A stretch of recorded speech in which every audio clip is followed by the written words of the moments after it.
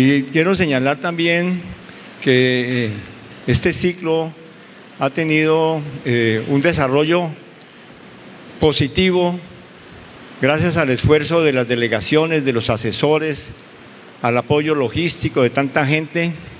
Y quiero destacar la presencia y la contribución que han hecho los nuevos integrantes de la delegación del Estado Mayor Central de la FAREP.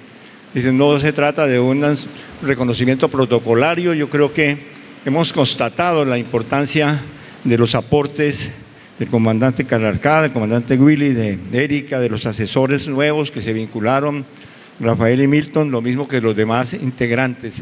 Nuestra gratitud, yo creo que hemos llegado a este punto eh, porque ha habido una voluntad de las partes y por supuesto de nuestra delegación, con esfuerzos especiales, nuestro reconocimiento a los observadores militar y policial. Quiero dar un agradecimiento a todos los integrantes de nuestra delegación, a las mujeres de ambas delegaciones, a quienes hemos celebrado, y con ellas a las mujeres de Colombia y del mundo, y también nuestra gratitud con la delegación del Centro Democrático, el doctor Fabio Valencia acá, quien eh, ha contribuido exitosamente. Es un evento y un ciclo que tiene logros y retos. Han sido señalados ya en la intervención de Leopoldo. Solamente indico que hemos evaluado lo del cese al fuego, la, la, aplicación de los compromisos, de las reglas, de los acuerdos en esta materia y tenemos unas tareas muy importantes por delante. En el país hay una preocupación grande por los diálogos que está realizando el gobierno en las mesas eh, de tipo político por la paz. Y eh, esa preocupación tiene puntos de referencia eh, críticos. Aquí estamos intentando darle respuesta. Creo que hemos tomado decisiones pensando en que podemos a un corto plazo disminuir las situaciones que nos han interpelado y que de diferentes regiones y con desigualdades eh, nos plantean grandes retos. Destaco también lo que se ha suscrito como rutas para la transformación territorial.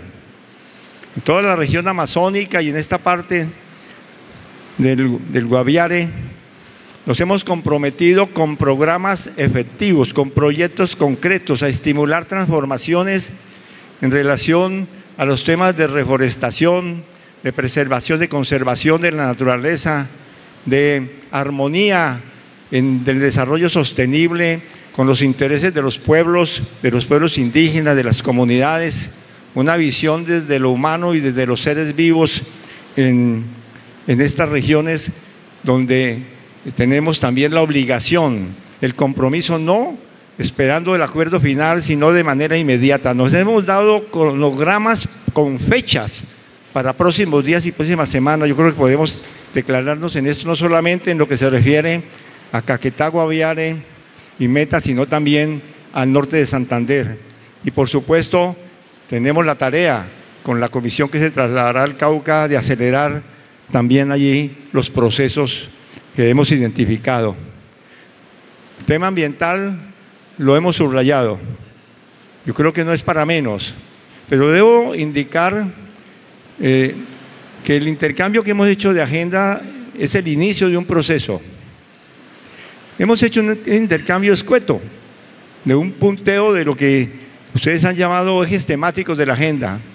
Nosotros también hemos señalado unos ejes temáticos. Yo decirles que leyendo los ejes temáticos que ustedes tienen, todos pueden integrarse, armonizarse con los que hemos presentado nosotros. No excluimos ningún tema.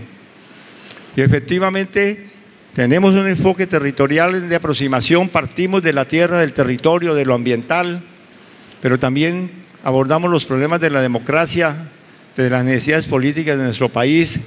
Entendemos que unos acuerdos de esa naturaleza requieren integrar las dimensiones territoriales con elementos de importancia de transformaciones de alcance nacional y estructural. Por eso pues vamos a abordar esto en el próximo ciclo. Yo creo que será un paso muy importante. Estamos con el gran compromiso de aportarle a todo este proceso en Colombia de la paz total. Nos preocupa y nos seguirá preocupando la situación que se presenta en las regiones de incremento de confrontaciones entre diversos grupos, las afectaciones de las comunidades. Esta mesa tiene la vocación y mantendrá la vocación como lo hemos proclamado desde antes y lo refrendaremos en el próximo ciclo, de escuchar la voz de la gente, de buscar la gente que quiere disminución radical de violencias, incremento de sus condiciones de vida y de bienestar, aumento de la libertad y de la democracia, participación verdadera con pluralismo, autonomía y oportunidades. En eso estaremos entonces nuestra gratitud a todos, también a los periodistas presentes, por habernos permitido, habernos acompañado para llegar a este momento de cierre del cuarto ciclo de la mesa de diálogo de paz. Muchas gracias.